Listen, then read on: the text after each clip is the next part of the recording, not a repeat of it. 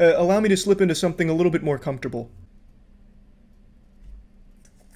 I know that I'm known as mainly the dildo and fleshlight guy and things to put in your butthole,